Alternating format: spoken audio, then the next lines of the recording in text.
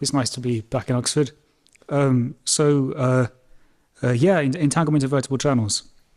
Um, so the talk's based on the paper of the same name, which is which is on the arXiv uh, now. Um, oh, am I going backwards or forwards? Uh, oh yeah, okay. Um, so so so yeah, the basic setup for quantum information theory, uh, systems of finite dimensional C-star algebras, and channels are completely positive, trace-preserving uh, linear maps. Uh, some notation, we'll, we'll write B of, B of H for the C-star algebra of operators on a finite dimensional Hilbert space H, and we'll write uh, N for the n-dimensional commutative C-star algebra.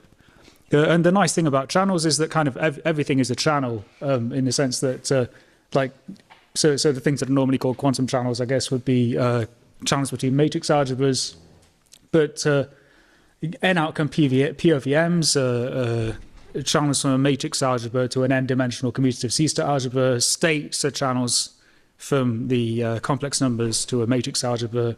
Stochastic channels are channels between um, commutative C-star algebras uh, and uh, sort of general quantum operations, you know, where you've got some classical inputs, some classical outputs, and some quantum inputs and quantum outputs.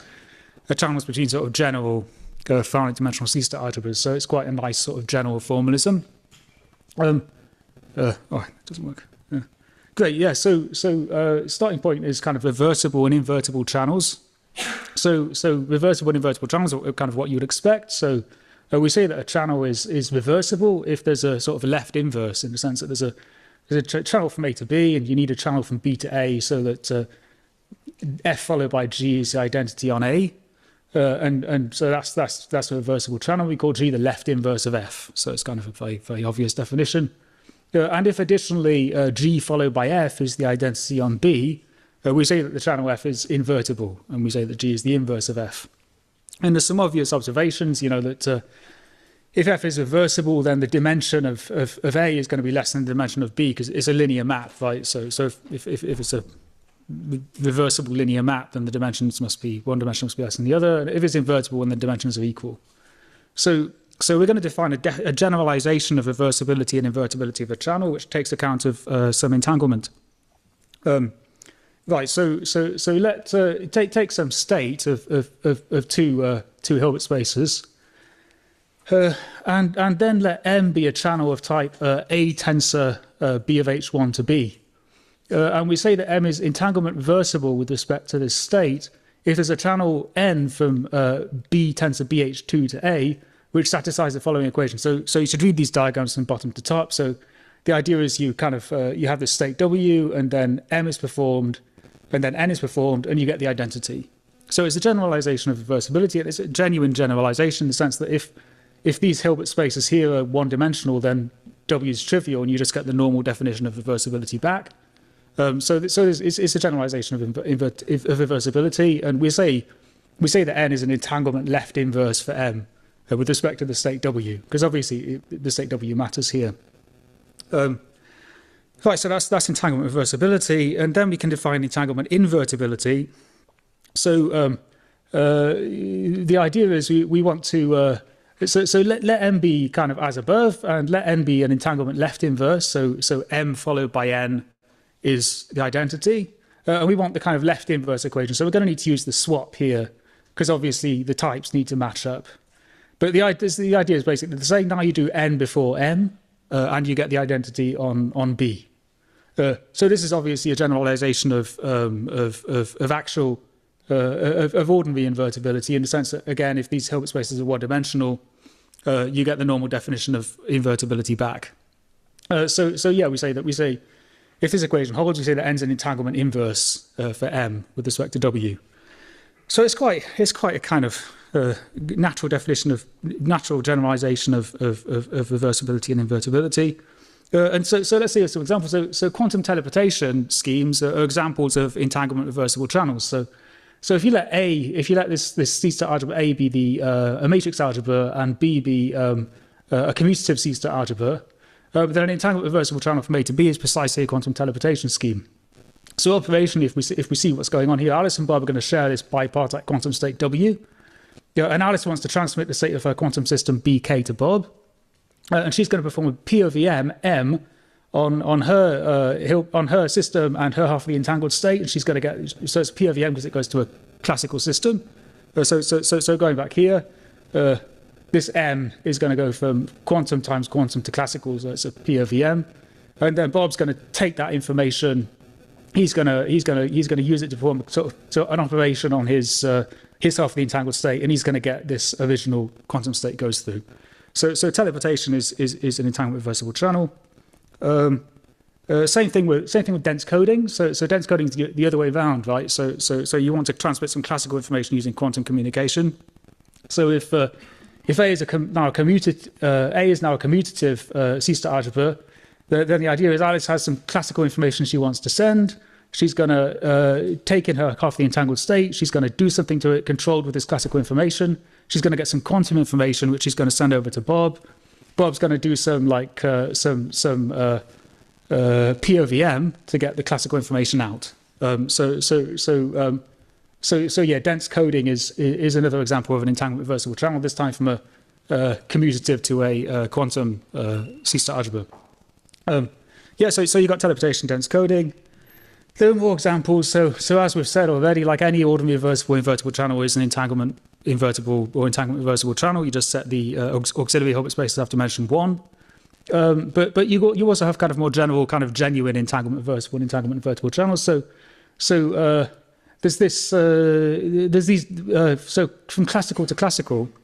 So so that, that, this channel will go from like classical information tensor um, Hilbert space to classical information. So so you have these non-local games where you've got two players uh, can't communicate. They share some entanglement.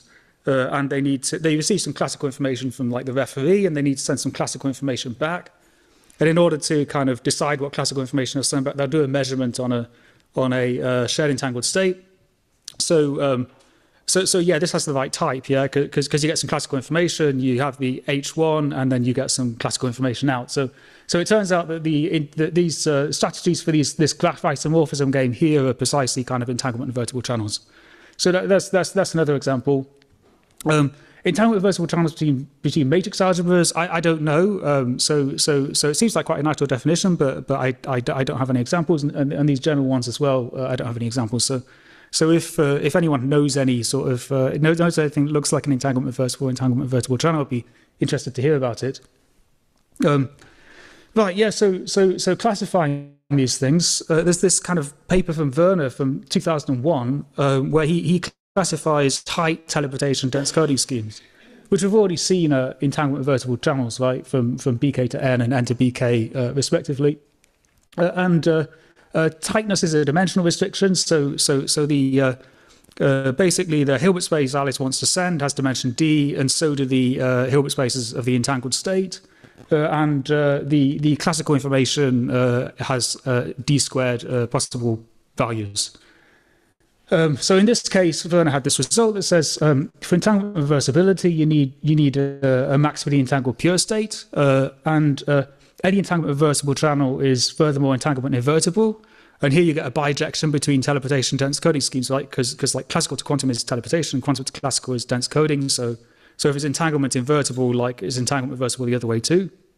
Um, uh, and also, uh, uh, any tight teleportation dense coding scheme is precisely specified by the data of a unitary error basis. So this is a basis of unitary operators orthogonal under the trace inner product. Um, yeah, so, so Werner had this classification. Uh, so our result is uh, like a, a, generalization of Werner's classification to um, entanglement invertible, reversible and entanglement invertible channels between arbitrary C-star algebras without any dimensional restriction. Um, yeah, so, so, so, so we answer this question, which is if you have a channel A from a times BH1 to B, and a state of BH1 times BH2, when is the channel entanglement reversible, or entanglement invertible with respect to, to W? So that's the question we're gonna we're gonna answer. Um, let's check uh, check how time's going. Uh, so, so how, how much time have we used? Uh, Great, thanks. Yeah, fantastic. Uh, right. Uh, okay, so so um, in order to so so, so basically, I'm I'm not going to have time to present the proof, but but I am going to have time to kind of present the statement of the result. So so um, in order to in order to present the result, I'll need to kind of introduce uh, this this sort of Stinespring's theorem.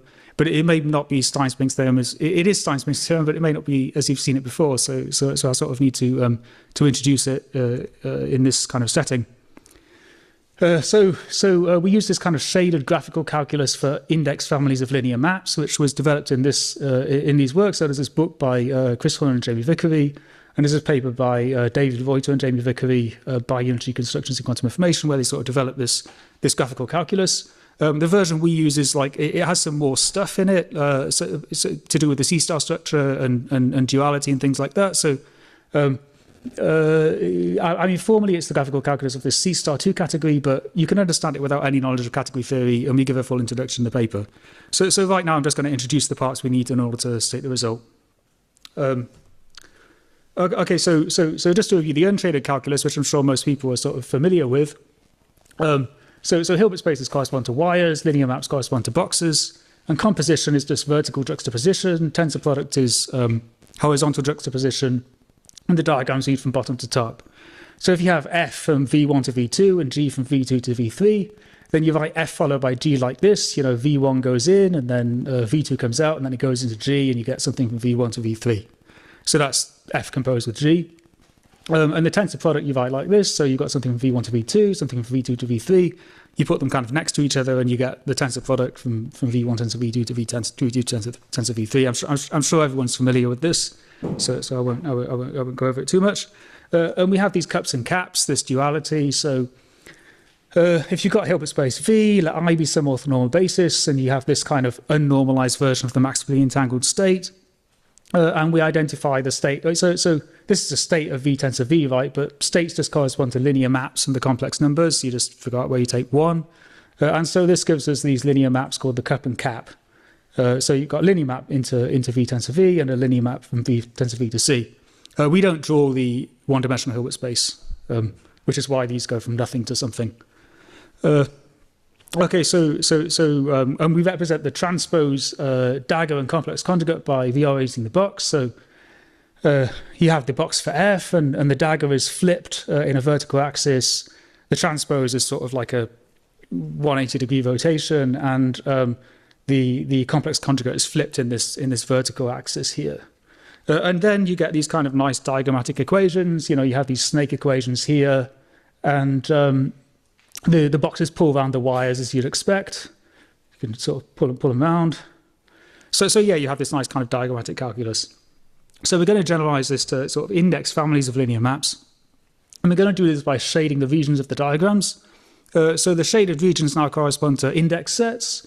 Uh, the wires correspond, going to correspond to families of Hilbert spaces, we'll call them one morphisms, and the, the boxes are going to correspond to families of linear maps. Um, so here, here's an example. Let, let M and M be two index sets. Uh, we so, so M is kind of the number of elements of the index set. We, we shade regions corresponding to N with wavy lines and, and regions corresponding to N with polka dots. Uh, and uh, the following wire is uh, an M times N index family of Hilbert spaces. So so you've got you've got you've got M on the left there and N on the right. So so it's an M, M, M by N uh, family of Hilbert spaces, and and we write we write V from M to N, which just says you know M is on the left and N is on the right. Um, so here's here's here's a box uh, goes from X tensor Y to to, to, to Z tensor U. Uh, and it has an M region below, an N region on the right, and an M region above. So it's going to be an M times N times M index family of linear maps. So it's going to take uh, xi tensor yij uh, to um, uh, zi tensor uij. So, so basically, you just pick a value for each of these index sets here, and that defines one of your linear maps. So i is is is is, is the element of this index set, j is the element of this index set, and k is the uh, element of this index set. Um, so so so yeah, you get this family of linear maps. Um, and, and, then closed regions are going to be summed. So the open regions correspond to index, indexing the family, but the closed regions are summed over. So, so here you've got an open M region on the bottom and an open N region on the right, and there's a closed uh, M region. So it's going to be M by N indexed. So here's the M and here's the N, and, and this M region is going to be summed over. So, so you've got this. So again, you pick a you pick a value for each of the index sets, and you just sum over the values for this index set. So you've got so so this is G G G f composed with gij is going to be this this sum here, this sum of linear maps. So that's how that's how composition works. Uh, again, for a index set, there's an identity wire, which is just uh, which is just uh, c um, for for when i equals j and and and zero when it's not. Um, we we have a, we have duality. So so so the dual you just kind of uh, is is going to go from it's going to go the other way. So you just uh, you just pick the same Hilbert space. Uh, we have we have cup and cap morphisms uh, which go from the identity y to the to, to the to the to the tensor product of the uh, one morphism with its dual. Uh, and they're defined using the cup and cap of the unshaded calculus. Uh, kind of fairly, fairly, fairly easy to do that. Uh, we have we have dimensions. So so now the dimension is going to be a um, is going to be an endomorphism of the uh, identity wire.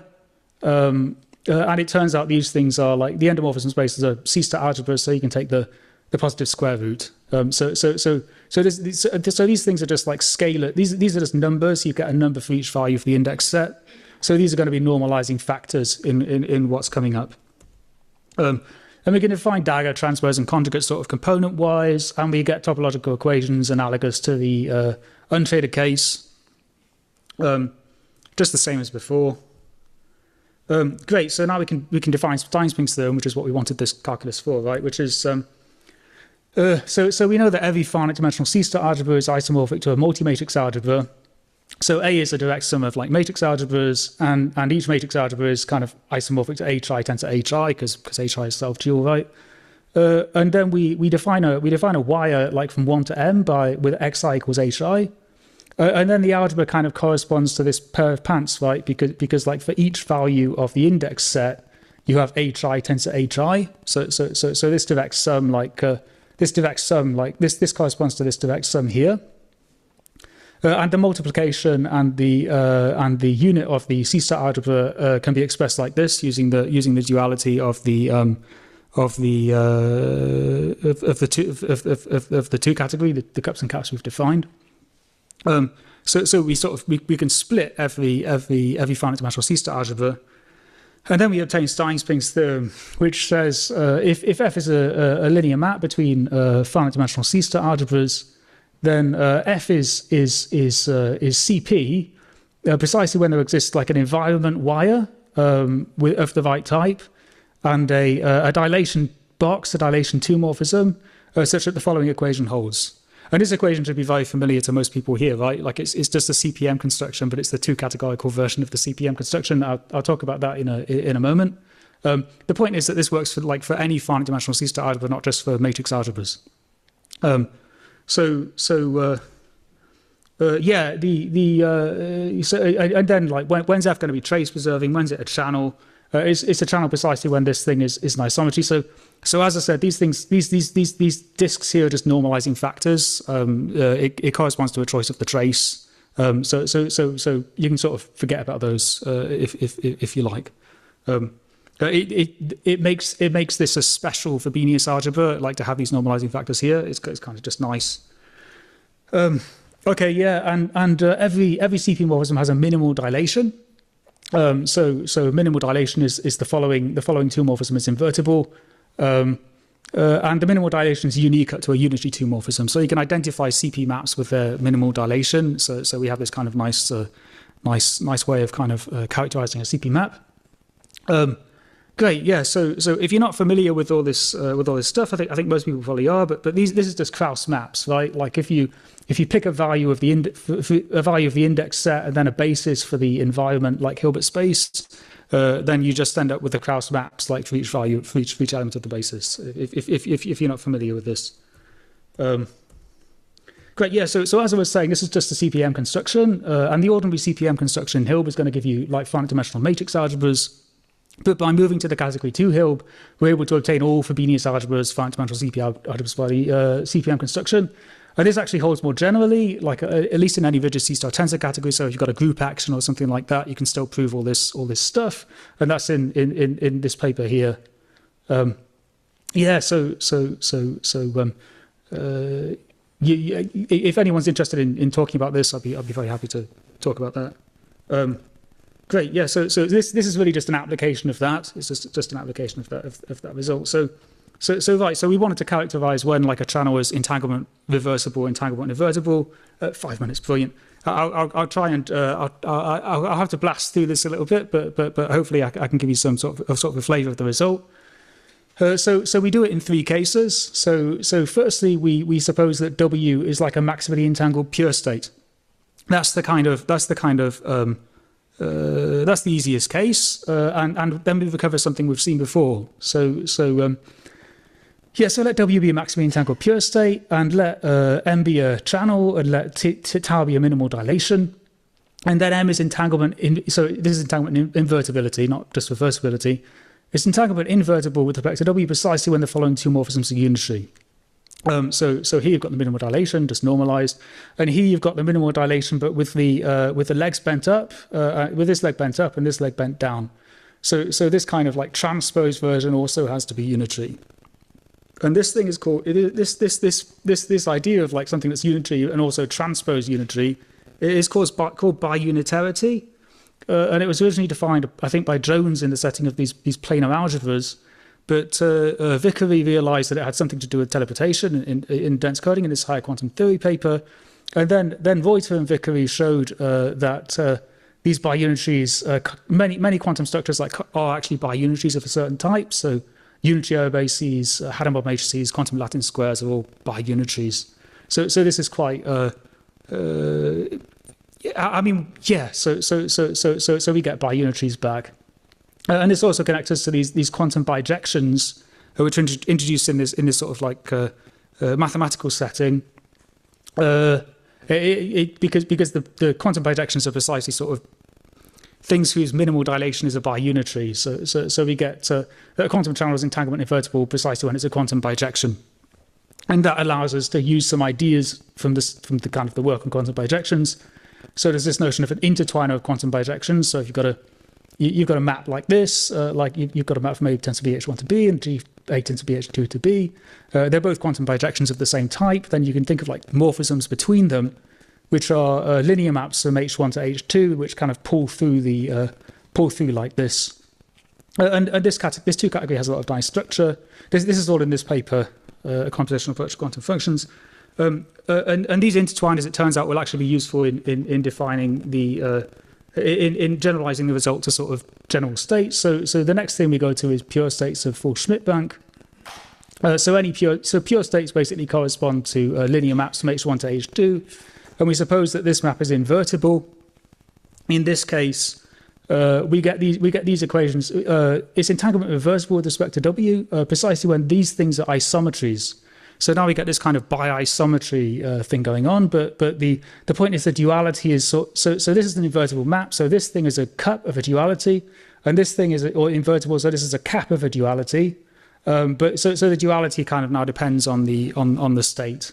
Uh, but you you get the same kind of bi-isometry thing going on. So so it's entanglement invertible precisely when these things are isometries. Um, and uh, uh, if it's entanglement reversible, then we know that dim A is less than or equal to dim B. That's not obvious, but in this case it holds.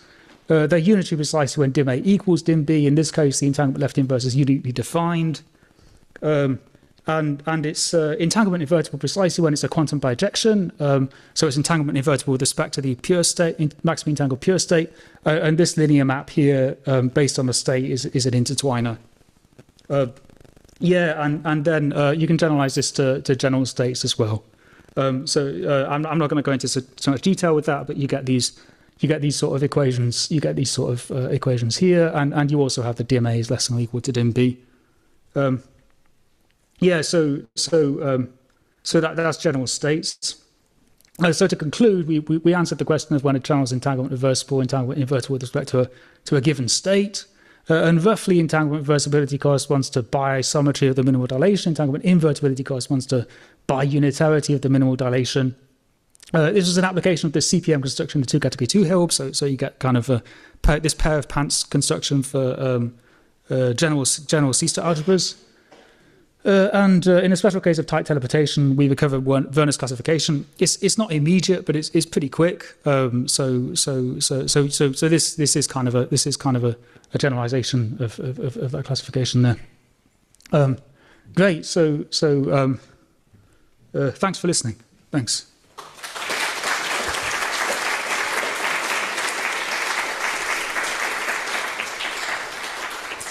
Thanks, Dominic, for the thanks, Dominic, for a nice talk. Are there any questions? All right. Yeah. So I'd like to know because it feels to me like you've really covered all the different cases you could consider as like a full classification. Is there anything left to do? Uh, sure, yeah. Well, well, the, the thing, the thing that kind of, uh, the, the thing, like, if it did it again, uh, the thing, the thing that I thought, um, that I thought um, uh, could be done is, is, uh, yeah, the, the, the, these, these things we've chosen them to be uh, like matrix algebras, like, like for Hilbert space. But I was thinking maybe you could do it for a general finite dimensional C-star algebra there, so so you could make it like even slightly more general. Um, uh, and and then then you could you could cover like class, classical states here or, or something like that. I think I think the proof techniques would probably work in that case as well. I can't think of any reason why they why they wouldn't. Yeah. Cool. Um, I mean, if no one has any questions, I'll, I'll, just, I'll, just, I'll, I'll just keep talking to you. So. um, yeah, I'm, I'm also surprised to see the two categorical uh, stuff grow. Is this because you're working with general C-star algebras? Like if you were to work with just B of H, you could do it sort of one categorical picture? Yes. I, if, if you were just working with B of H, everything that's done in this paper you could just do with like one one category. Yeah. Yeah. Absolutely. Yeah. Hmm. Yeah. Um, so so so in, in fact you could you could do all this stuff in like a like a uh, if, if you imagine you've got like a group action on all your on all your systems and all your channels have to preserve the group action, uh, you could you could do you could do um, uh, you could do case one in that setting as well. So so this this uh, this first case uh, where you get um, uh, with respect to maximum entangled pure state, because uh, because that's sort of like a like a cup and a cap. You have that in this in this sort of covariant setting. But the other stuff, kind of like it depends on it depends on um, uh, kind, kind of the fact that it, it, depends on kind of the structure of two Hilb in in, in some some sense. So so um, uh, so, so so so yeah, like like it, it's true that like if if you don't care about if, if you don't care about like general C-star algebras, like you could just do it in in in Hilb. But um, uh, of course, then you wouldn't get like teleportation dense coding. I guess. Yeah. Yeah. yeah, yeah. Right. Thank very much. Let's let's thank Dominic again, and if the next speaker can come. Uh, yeah, this is joint work with uh, with Pablo and uh, and Chris. Um, Pablo, who's now at at CQ, but um, used to be at Edinburgh. Um, and yeah, as I mentioned, this is about universal properties of, of quantum theory, but I sort of wanted to talk about, well, what are these like universal properties to begin with? Yeah, so let, us talk about actually like the kind of universal properties um, that we're going to see uh, in this talk, which is the notion of a categorical completion. So a categorical completion is kind of like uh, category theory, but with wish, wishful thinking. So you have some category C, and you have some property P that you really want your category to have, but it doesn't have it. So what do you do? Well, if you're lucky, there is some way that you can take your category and sort of turn it into a category which you know, contains your original category but has this property, right? But then how do you know that this construction is sort of the best one that you can have? Like how do you know that this adds just the properties that you want and not all sorts of other junk? And that's precisely you know, what a categorical completion is, because it says that for any other category with this property that you care about, which your category um, embeds into via functor, uh, there is sort of a unique way of going from your, um, your completed category into this one. So in a way, this is like the best way that you could add this property to your category. And this is sort of the, uh, the notion of, uh, of universal property or uh, categorical completion that, that we'll talk about in this talk. So why should we care about like these you know, universal properties at all? Well, could be for two reasons or more. Uh, but the first one is if you care about quantum foundations. Because in this case, you can really see that this sort of categorical completion sort of really isolate what is the difference between sort of different you know, quantum theories, what really what sets them apart. Um, the other is if you care about, say, program semantics, like semantics of quantum programming languages. Because what these free structures or these completions really provide is that they provide kind of syntactic extensions um, to programming languages, which actually like, turns out to connect very nicely to the theory of computational effects. And really what they do is that they give a form of like modular semantics for, for quantum computation. Um, so what I mean is, let's say you have some sort of programming language with a syntactic category S, and you want to add some new, some new feature to this, right? well, let's say that your programming language takes its semantics via some sort of functor here into some sort of category C. Now, if you have a, um, a construction like this, which is universal, what it tells you is that there's essentially a unique way of lifting this semantics into sort of an extended programming language which has your new feature um, and sort of respects, uh, which respects everything uh, that you want. So this sort of gives you a way of like, you know, extending your programming language sort of step by step by adding one feature at a time. So before I actually go like too much into details about you know universal properties, I have to mention these two papers because I think this is sort of really what started everything for me. Uh, so this is a paper by uh, by Ewan Staton um, from Q QPL um, 2018, where they really sort of showed I think like the first uh, sort of categorical completion results of this style that I'm familiar with, um, where they showed that Stinespring's dilation theorem actually corresponds to the completion of a monoidal category to what's called an affine monoidal category, which means that you take um, the monoidal unit and make it terminal. Um, they even extended that um, sort of some more to take care of um, rake structure and um, and go not just to uh, to matrix algebras but to C-star algebras. Um, so have to mention these. We'll, we'll get back to them in, um, later in the talk. So in this work, um, basically what we'll do is that we'll construct or make a universal construction starting from finite dimensional Hilbert spaces and unitaries and going all the way to finite dimensional uh, C-star algebras and completely positive trace non-increasing maps. And that's sort of where like the partiality comes in. Um, and we'll do it in three steps. So in the first step, we'll complete uh, Hilbert spaces and unitaries to um, contractions. This is via uh, something called Halmos dilation. And it turns out that this actually precisely corresponds to taking, um, in this case, the, I guess, the zero-dimensional Hilbert space and making it a zero object um, in this category. Then the next step, um, what we'll do is that we'll complete uh, this, uh, this category of contractions to um, the category of Hilbert spaces and CPTN maps. And what we'll do is actually very close to what Ewan Staton did uh, in the original paper. Um, so they used a variant, uh, or they used Stinespring dilation. In this case, we'll need to use sort of a partial variant of it. And the final case um, is that we'll go from Hilbert spaces, so just matrix algebras, to C-star algebras um, by splitting measurements. Okay, so that's, that's sort of the, the general uh, idea. So how does this work? Well, let's start with the category unitary. So this has um, finite dimensional Hilbert spaces as, as, objects, or you can think of them as like BFHs, um, and unitaries between them as, uh, as morphisms. And this is a dagger rig groupoid, okay, um, with sort of direct sum as the, uh, as the plus and tensor product as the times. Now, when we're looking at sort of these um, universal properties. What we're really looking for are categorical uh, differences between the two categories. So uh, in this case, we'll observe that like one difference between unitaries and contractions is that, in fact, the additive unit in contractions is a zero object, whereas in unitaries, it's neither initial nor terminal. It doesn't have any of these properties. Okay, so this is really like a candidate for, you know, something that could set these two categories apart.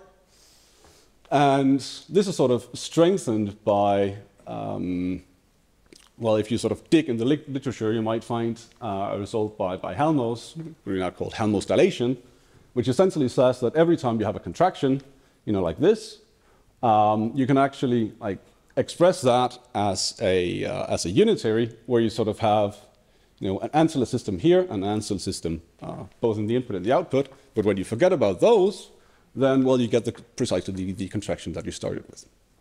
Okay?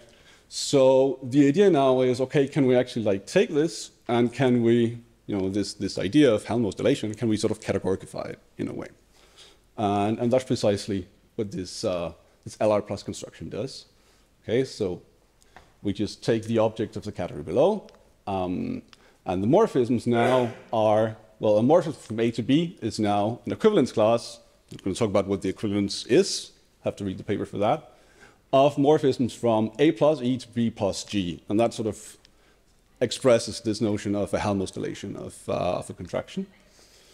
Now, identities are just sort of identities um, below, but with trivial systems on both the input and the output. And to compose, well, the idea is that you sort of need to retain both of the ancillary systems, right? So we compose uh, like this. Now, it turns out that this is actually like a very nice construction on Dagger categories, because if you start with a Dagger category and you throw this construction at it, then what you end up with is actually just another Dagger category. So, so far, so good. But then what does this actually give us? Well, it actually turns out that thanks to the equivalence relation, which I did not talk about and will not, uh, it actually turns out that, that this, this LR plus of C um, has, uh, as a unit of the direct sum, uh, a zero object. So this takes, takes you from a category which does not have a zero object into one which does. And it actually turns out that sort of the inclusion functor from C into, into this construction is actually universal with this property. So in other words, for any other Dagger category, you know, where the, um, the sum unit is, um, is a zero object, there's sort of a unique way of, of, factoring through there. So this is sort of the best way that we can hope to do it um, if we're going to turn the, um, the unit of the sum into, into a zero object.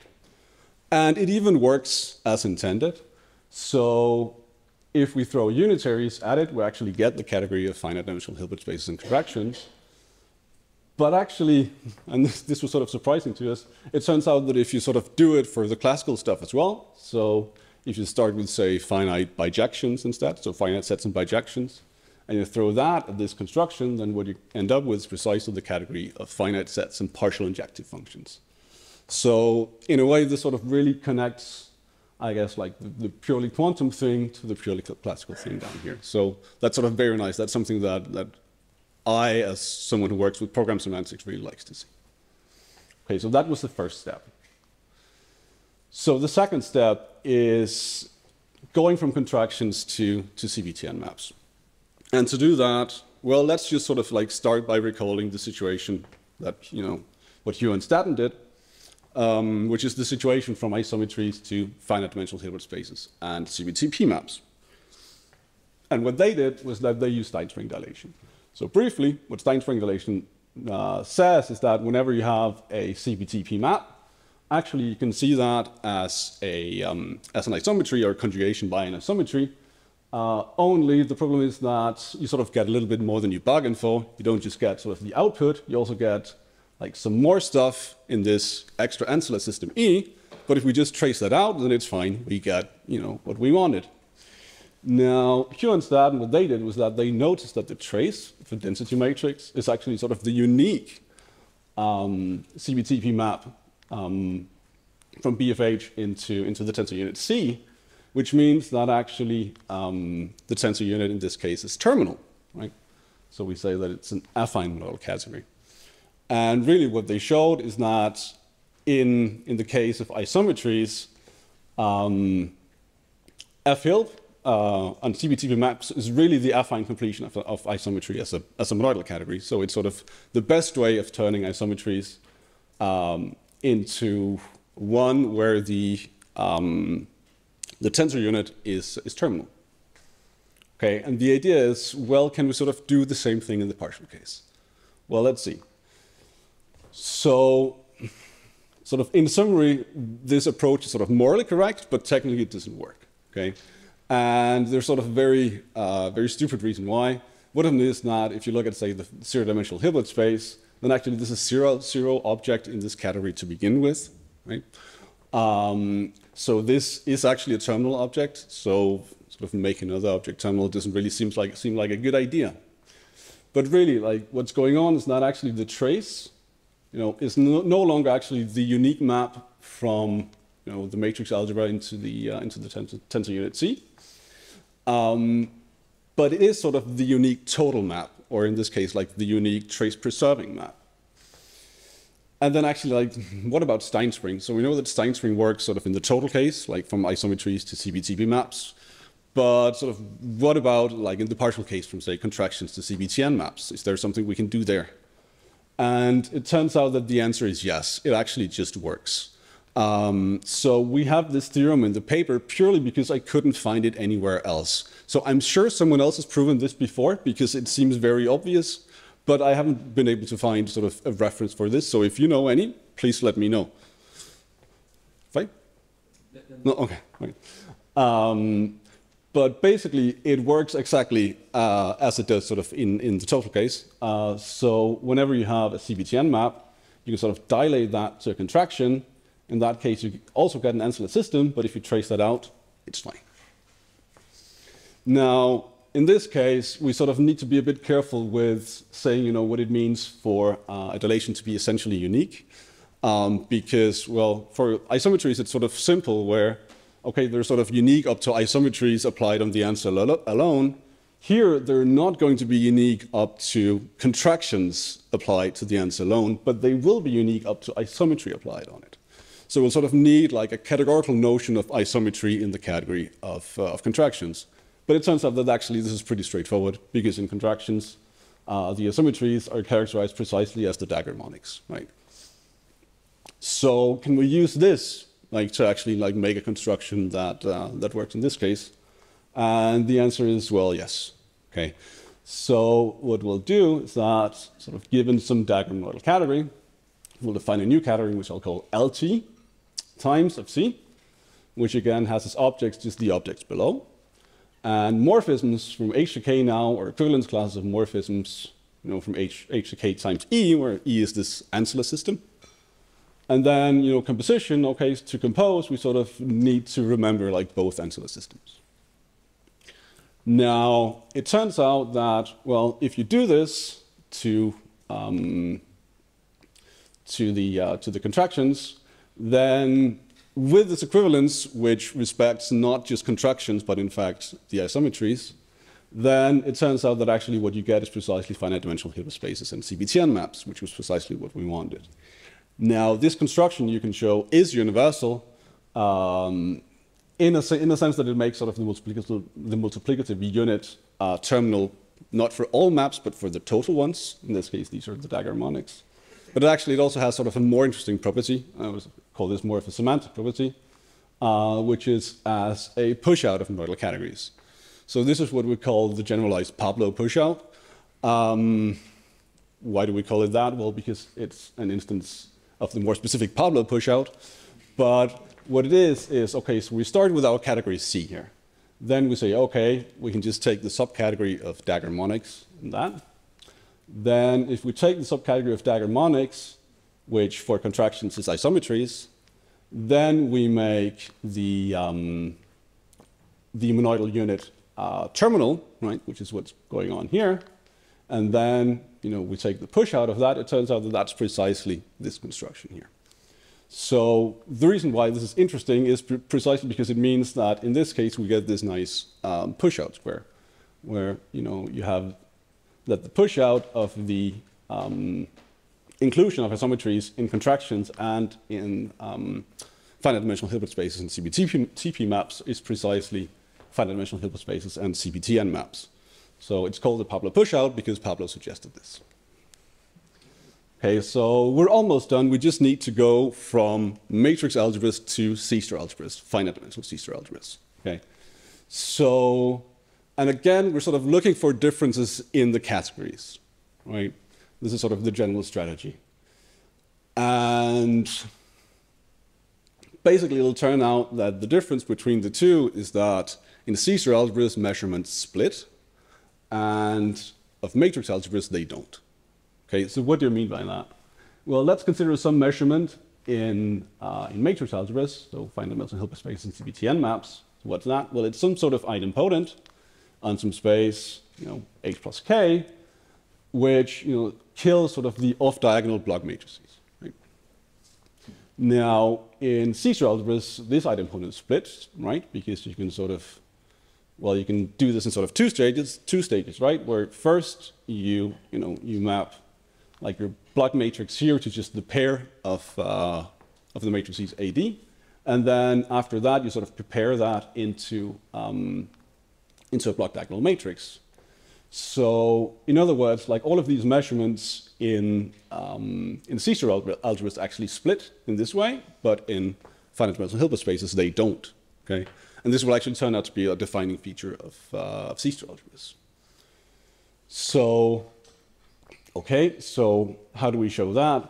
Well, we know that you know finite dimensional C-star algebras are just direct sums of B of H's, right? Whereas finite dimensional Hilbert spaces just has P of H's as objects, right? So that's really the difference between the two.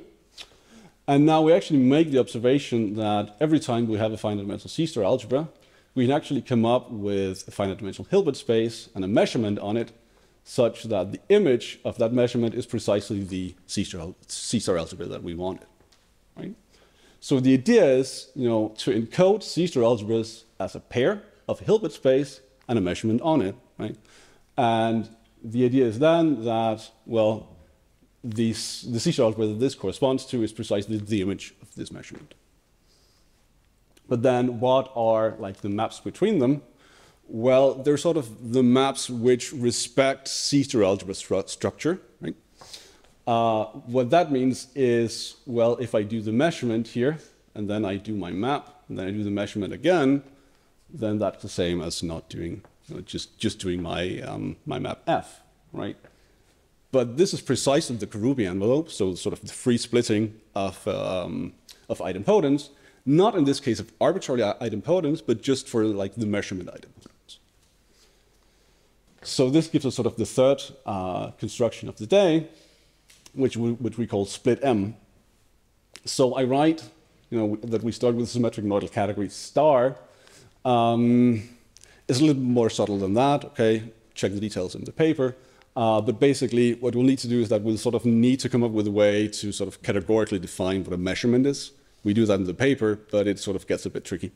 Um, so for now, okay, we just say that it's like an arbitrary symmetric monoidal category. We define a new one, split M, right? Which has as objects pairs of an object um, below and a measurement, whatever that means, uh, on that object. And morphisms, as we noted before, are sort of the, uh, the maps from the category below which respect these, uh, these measurements. Uh, identities are, well, they're measurements now, and composition is, is SNC. Now, the, um, it's sort of well known that, that the splitting of, of idempotence, like the Karoubi envelope, is a free uh, construction, and it's sort of the, um, I guess, like sort of the least category which, in which all of these measurements split. Right? And we can actually show then that if we, if we take finite dimensional Hilbert space and CPTN maps and we split all of the measurements there, what we get are precisely finite dimensional C-star algebras and CBTN maps. Okay, so why should we care about all of that? Well, universal properties isolate sort of precise features um, uh, which set like you know different quantum theories apart um, but also universal constructions. So these like very specific constructions can actually help you in sort of providing like mechanical extensions to programming languages, right? Now, before I leave you, I've made some memes, as I always do. So here is Macron reacting to the various categories in this talk. Here is, well, this is sort of like everything we've done summed up. And this is what I'm actually doing. Okay, that's it. Thank you.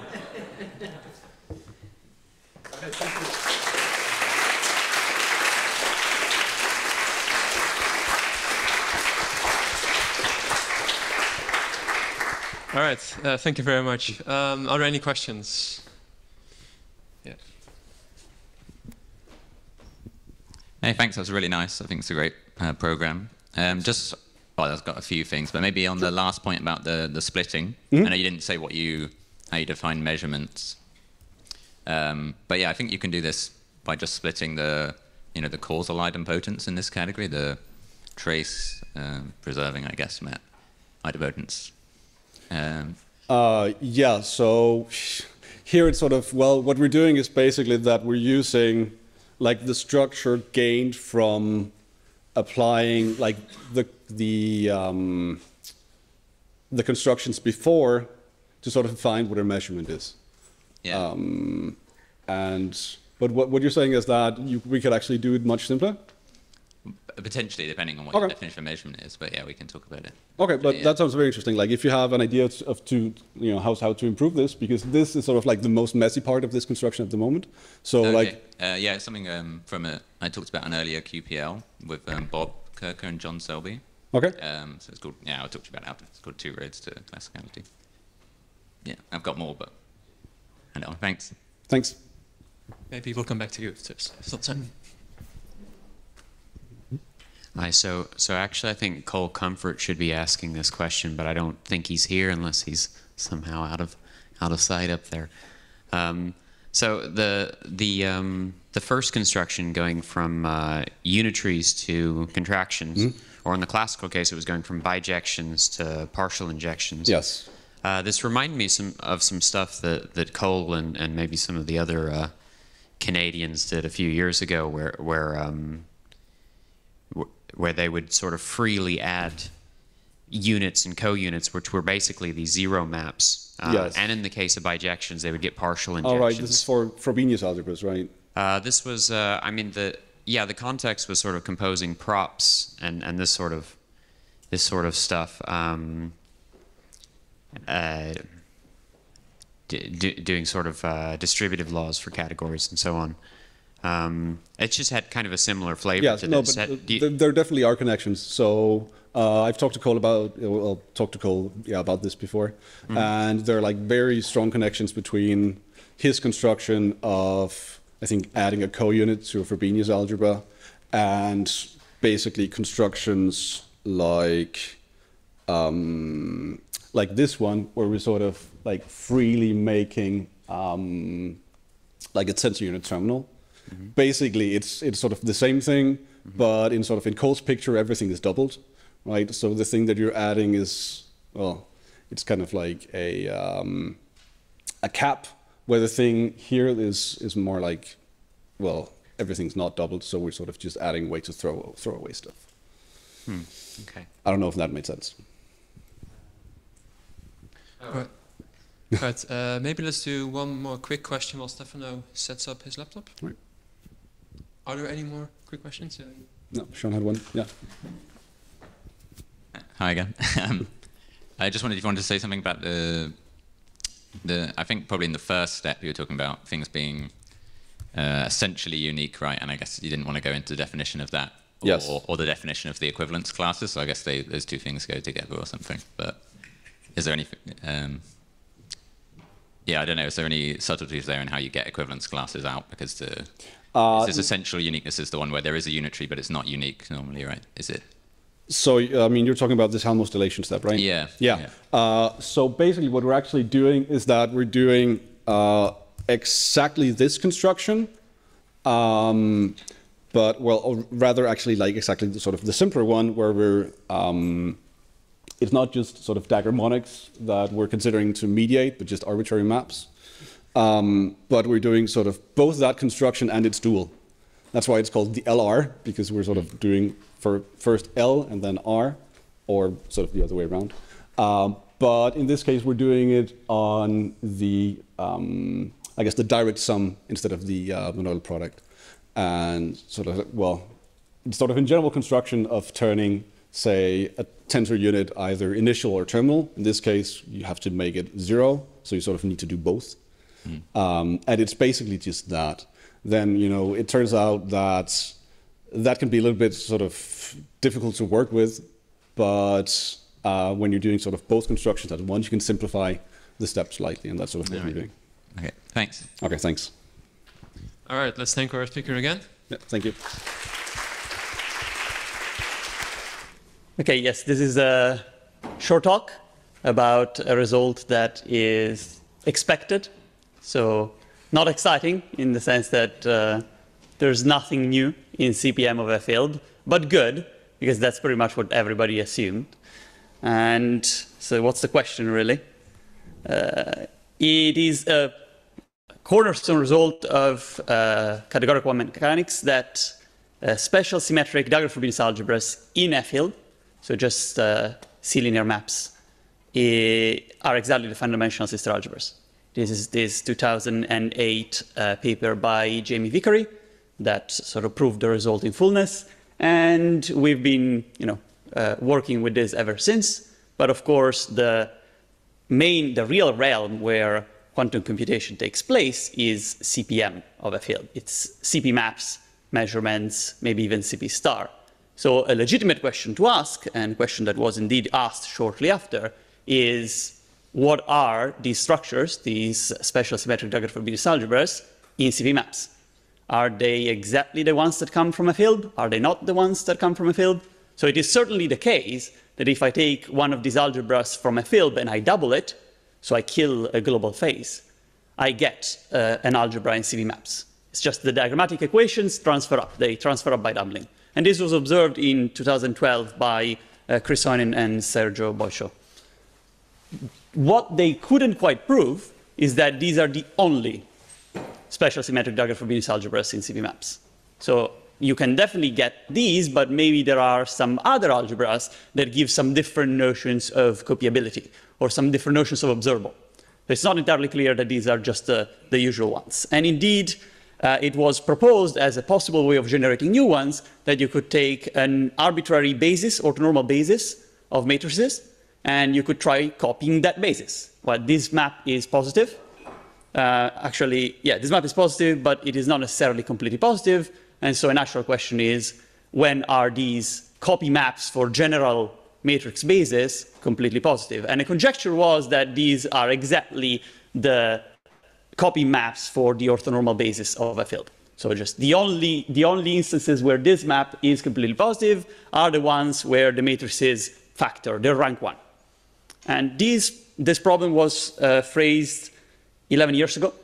And uh, to be fair, we've not really known the answer until roughly now. And that's what this paper is about. So the answer to the question is, no, there's nothing, nothing new. TLDR, nothing exciting.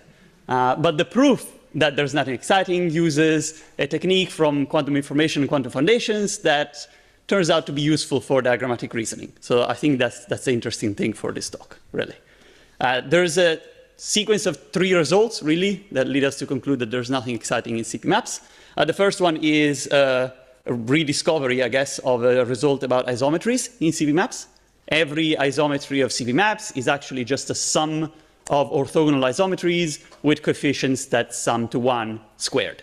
So if you take, it is sum of qi, vi, each vi is an isometry, they have orthogonal images, and the coefficients squared sum to 1.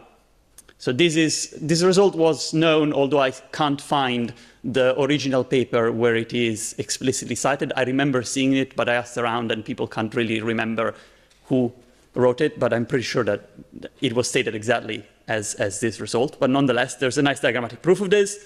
And from that, we move to algebras. Algebras are in particular monoids. Well, monoids or comonoids, uh, it doesn't really matter, it's a Dagger category. And these are comonoids of CP maps. So you should draw them with potentially a discarding there. We do not know that the comultiplication is pure. We do not know that the counit is pure. And in fact, that's the entire game proving that under some additional assumptions. Of course, not all comonoids uh, in CP maps are pure. That's not true.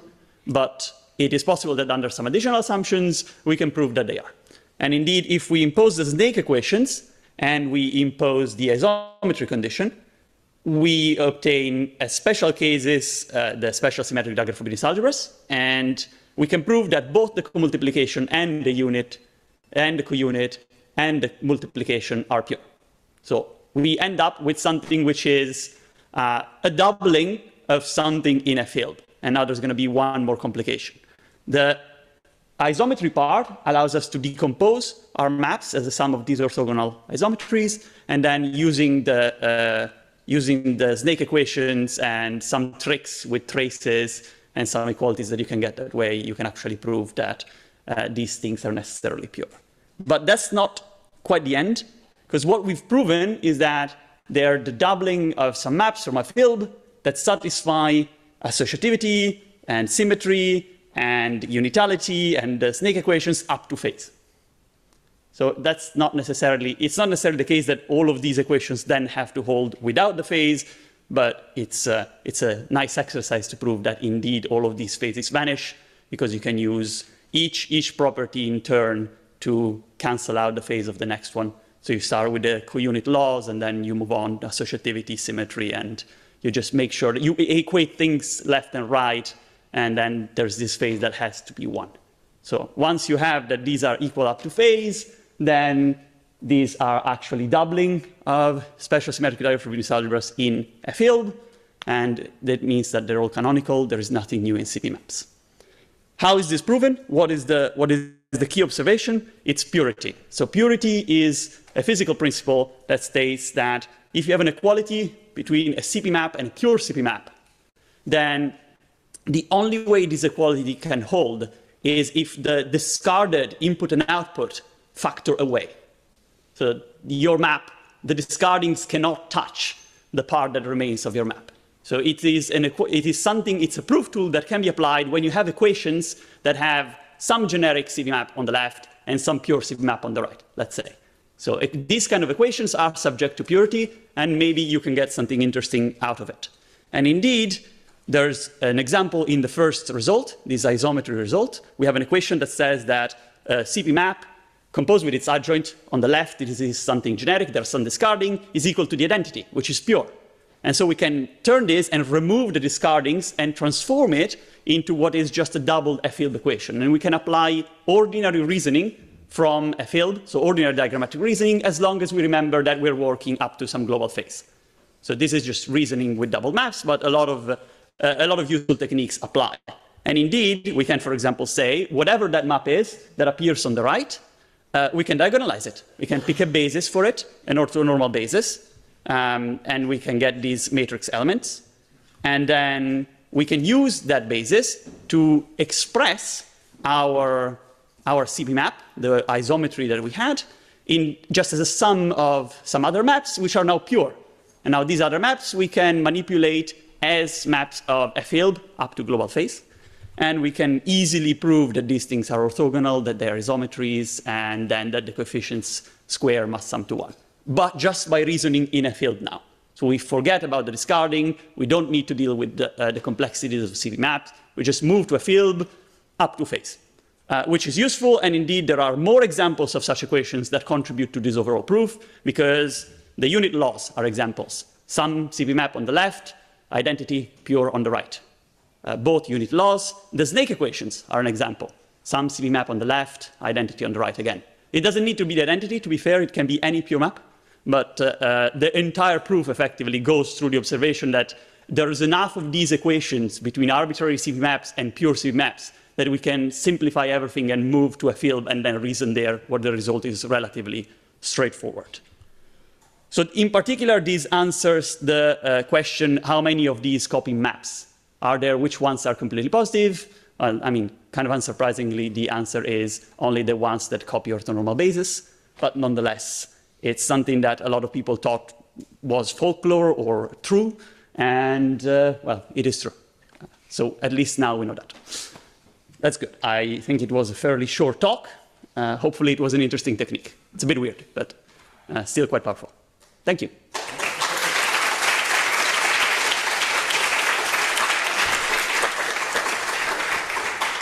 All right, thanks, Stefano. Are there any questions?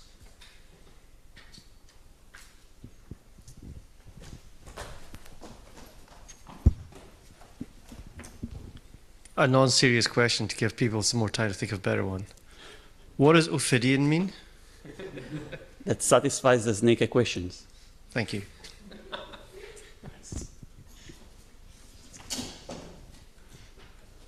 Okay, uh, slightly serious, more serious question, still not super serious. What made you want to answer an 11-year-old MathOverflow post?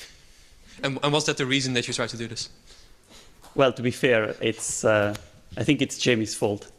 Uh, at some point, many years ago, when I was a PhD student, he, he came to me and said, Oh, there's this problem. Ah, it will be interesting. What do you think about it?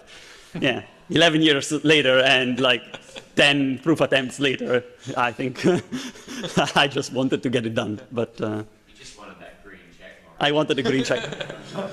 That is the reality. And that is the second answer I give. The first one was wrong.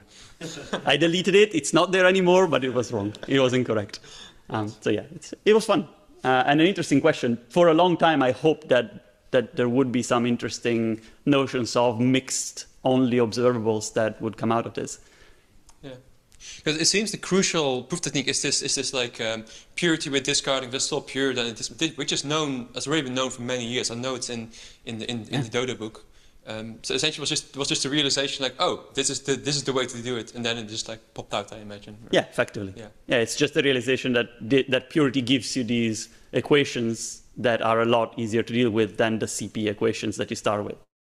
trying to reason with CP maps doesn't give you a lot of a lot of the tools that you have with linear maps. Like diagonalizing them is not as nice. And uh, so is this is it possible to generalize this to any like if if, if you challenge a CPM construction, um, and if you have a characterization of um, the, the Frobenius algebras on the underlying category, can you then characterize them that it has to be the same in the CPM construction? Um, if they satisfy, yeah, probably, probably that should be that should be the case because nice. it doesn't really rely. It uses positivity of the of the scalars. Uh, it, no, it, you, it, has to have the purity principle. That's for, that's for sure. I mean, that's the main proof tool, but there's some additional requirements. It certainly uses positivity to prove that uh, some, if things sum to one and their squares sum to one, then yeah. Any other questions? All right, so let's thank Stefano again. For the last talk in this session, we have Mirte van der Eyden who will uh, give a talk about halos and undecidability of tensor stable positive maps. Thank you. Hi. Um, yeah, I'll talk to you about this project that I did with, uh, together with Gemma de las Cuevas and Tim Netzer, both also in Innsbruck, uh, about halos and undecidability of tensor stable positive maps. Uh, and I will talk to you, yeah, about two open problems. Uh, and the first of these open problems is uh, a purely math problem. And it's about taking tensor powers of positive maps. Uh, and I will explain to you more in detail what this is. Uh, but the reason that we're actually, or the motivation to work on this math problem comes from a problem in quantum information, which is the uh, problem of the distillation of entanglement. Uh, so a lot of you probably know what this is, but entanglement distillation is the idea of having a lot of uh, mixed noisy states and distilling out of them uh, with local quantum operations at least one copy of a maximally entangled state, which is something that we want for many, many reasons. It's a strong resource. Uh, and the link between these two open problems was set in this um, really nice paper by Alexander Müller-Hermes and, and, collaborators uh, a couple of years ago already. Um, yeah, and I will talk to you about, um, mostly I will explain to you in more detail this math problem and um, uh, present two approaches that we had in attempting to solve these problems. I can already tell them they're still open, like the, the main problems as I will present them, but we have some sort of either partial results or different results that came from, from these approaches that I will present. So um, we're talking here about positive linear maps. So um, we will consider linear maps from matrices to matrices. They can have either different dimensions or the same, square matrices only. So dimension d1 by d1. Uh, and such a ma map is positive if it maps a positive semi-definite input always to a positive semi-definite output. That's a positive map. Um, and we can look at the set of all these positive maps. I denote that just by like bigger equal to zero. Um, and we can see what happens if we start taking tensor products of, of this same map. And if we look at P tensor P and check, is this again a positive map? This will be true for, for some of the positive maps, but not for all of them. So we have some subset. And we can say, okay, what if we take three tensor powers? It's again a bit less. And we can go on and on and on. And we can ask the question, are there actually some positive maps that will always stay positive for all tensor powers if n goes to infinity? Uh, and this is true. There are some examples uh, that are sort of lying here in the middle. They're tensor stable positive, as, as this is called. Um, and first of all, this is the set of completely positive maps. It's, it's not hard to see. You can check that it will always stay positive. Uh, and moreover, there's also the set of co-completely positive maps, which is uh, just completely positive maps uh, together with transposition, uh, composed with trans transposition. So this is also uh, this will always stay positive. But it is not clear, how, clear, however, so uh, by the way, we will call these sort of the trivial maps, the, the trivial examples of, of tensor stable positive maps. And the question is, are there any more? Uh, so are there non-trivial tensor stable positive maps? Um, this is the question. And if they exist, if we find some non-trivial tensor stable positive map, even if it's only one, this implies existence of an NPT-bound entangled state. So what this is, this is in the, um, the problem of, of, or in entanglement distillation, the question is still open, what quantum states exactly are distillable and what, which quantum states are not. So what we know, if we look at sort of all quantum states, then the separable ones obviously are distillable. You can never distill how many separable states you have. It will never, you can never merge them into one maximally entangled state, of course. Uh, but also states that have a positive partial transpose, PPT states, are not distillable. However, it is not clear if there exist any NPT undistillable or bound entangled states. Uh, this has been an open question for some decades. It was quite sort of uh, a lot of people worked on this more like 20 years ago or something, and they didn't really manage to solve it. And I think not many people work on it anymore. But solving that question would solve this question in, in that direction. And this link again was established by, by Alexander Müller-Hermes. So we had two um, approaches to, uh, to, this problem. And the first of that was halos and the hyperreals. So what did we do? Uh, we considered the same question, like normally we always work on complex numbers, right? But we went instead of complex numbers to hyper-complex numbers. But let's first see what are the hyperreals.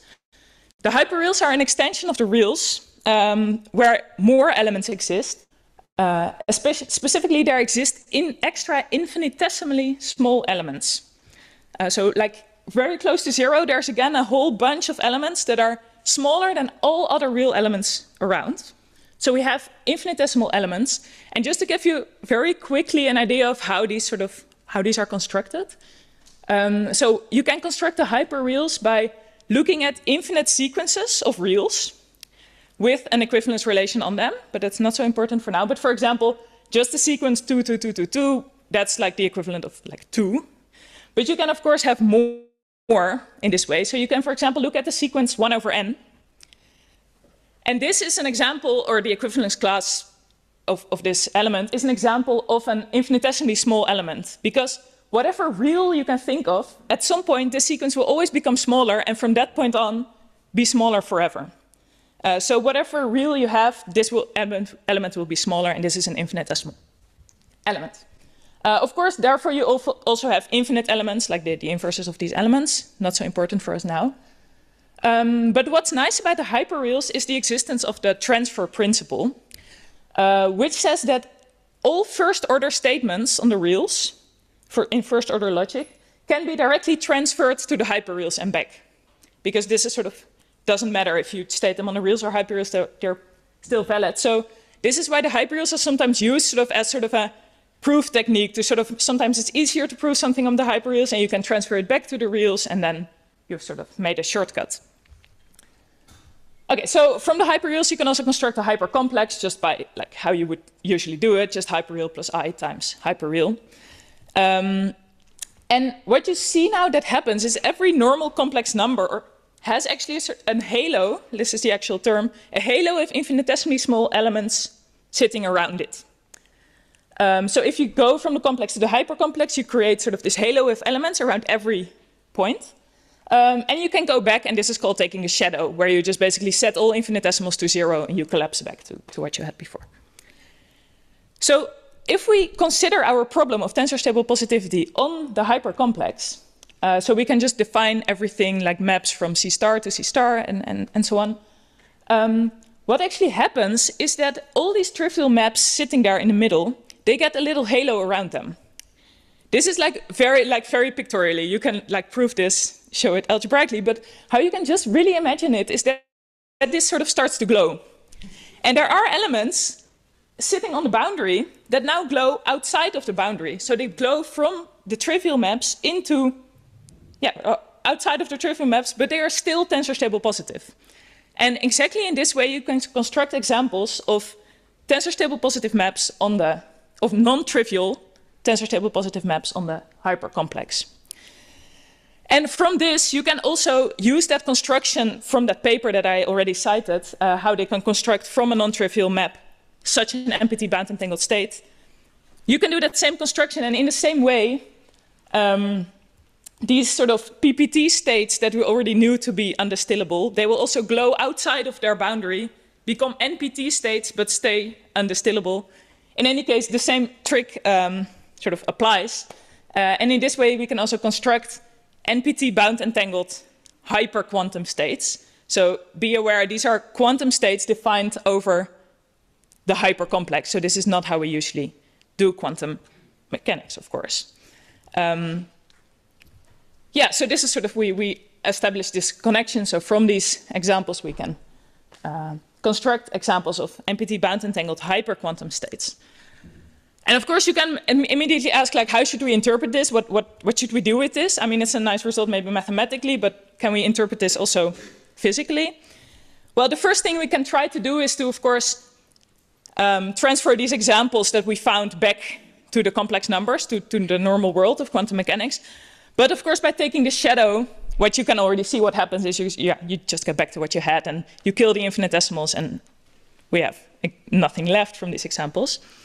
Um, another thing we could try to use is this transfer principle because we've proven something. We've proven there exist non-trivial um, tensor stable positive maps on the hyperreals or hypercomplex. And this statement we could maybe just as a statement transfer directly. However, this is a, so if it's in first order logic, we can do this. But um, what does it mean to be first order logic? It means you have quantifiers only over the field uh, that you're working on. So in this case, like complex numbers or the reals, or something like that. But our statement that we have says something, there exist non-trivial maps P such that P tensor power n is positive for all n. And this is a quantifier which is not over the field. This is not a statement in first order logic. We cannot transfer this directly back.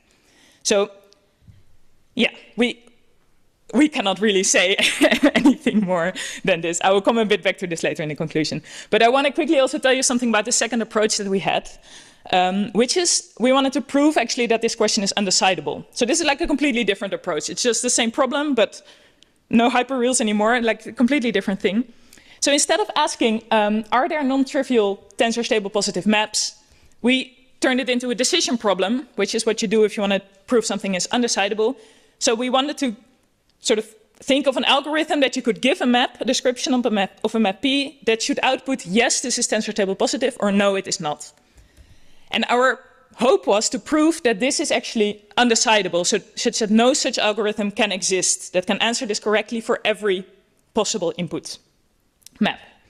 Uh, and how you prove that something is undecidable is that you find a reduction from an already a known to be undecidable problem and map it into this. So we had an idea of an, an existing problem that, that we could map into this, what, what we tried.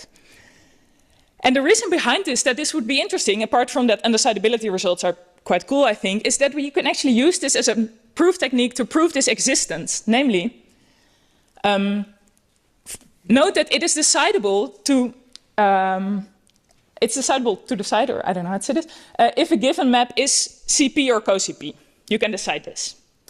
So if only trivial maps would exist, this problem would be decidable. Therefore, if we would prove undecidability, it would mean existence of a non-trivial tensor stable positive maps. It's not constructive, we don't know any example, but it would be uh, a proof of existence and therefore also a proof of existence of these NPT bound entangled quantum states. So uh, that was the goal, so we wanted to prove undecidability of this um, uh, question and what we managed to prove, like our reduction we showed that in the end it, it couldn't work from that problem we had in mind, but we proved it on a restricted input set. So we proved that not like normally it has to be positive on all PSD matrices and send them all again to PSD matrices, but on a restricted input set of so-called matrix multi multiplication tensors, which is just basically a tensor consisting of a bunch of Bell states um, going from one side to another it's, it's not super important. It's, it's like a restricted input set. You can see it like in tensor network language as just Bell states in between the neighboring sites. Um, and we were looking then for every n at, at, this object, tensor power p to the power tensor n, um, with an input of the corresponding Bell uh, states of the correct size. You, you can see it like that. Uh, and we've proven that this question, given a map P, is it positive for all n on this specific input, is undecidable by a reduction from another undecidable problem uh, in tensor network uh, theory. Um, so this question is, is undecidable. So on this restricted input, it is undecidable. Note that this does not exactly immediately mean that the full problem is undecidable. Because of course, indeed, if we input a map P and it is not positive on this input, for sure it's like we can say no, it's not tensor stable positive. But if it is positive on this input, it could still be that there are some other inputs on which it's not. So there's no direct reduction from this problem to the, uh, yeah, to the original problem that we were trying to solve. So to conclude, um, what we did is we looked at this uh, tensor stable positivity problem on the hyperreals, uh, or the hypercomplex, and we've shown existence of non-trivial tensor stable positive maps there, uh, which led to existence of NPT-bound entangled hyper-quantum states. Uh, and moreover, we have uh, shown undecidability of tensor stable positivity on this restricted uh, input of uh, Mahmut tensors or Bell states, however you want it. And there are, of course, so, still some open questions because we didn't actually solve uh, the, the, main problem. So there are a lot of things we could do for future work. Um, we still think it is undecidable. Like, it's already undecidable on this restricted input side, uh, set. It sort of has a lot of undecidable feeling to it. Positive maps are just quite mysterious objects, or like, um, so, so it could be. And um, maybe we can find another reduction from another problem. Uh, so if anyone has any ideas uh, to, to try to still prove undecidability. Um, yeah, of course you can still, uh, like this, this result that we had on the hypercomplex or the hyperreals, uh, you can debate how reasonable that is um, physically. Um, and we were still trying to solve it in some other ways, like looking at some geometric aspects of positive maps. Thank you very much.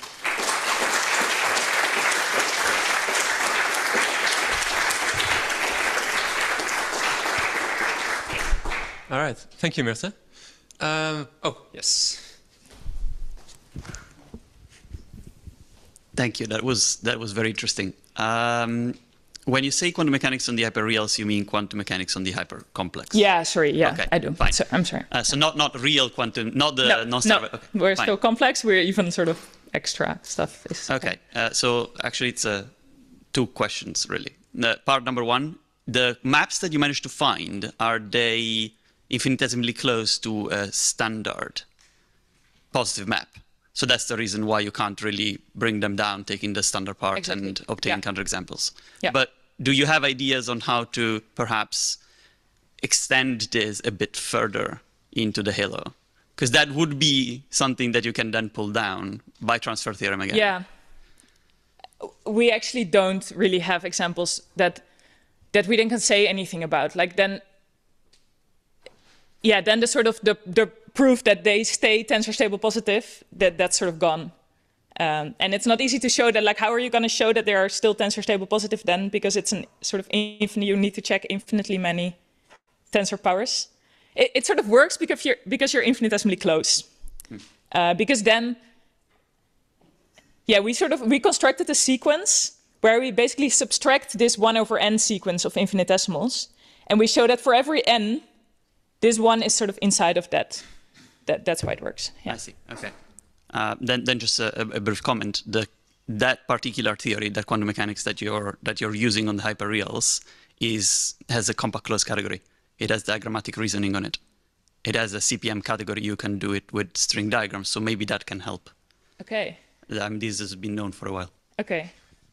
Thanks. That might be helpful. Okay.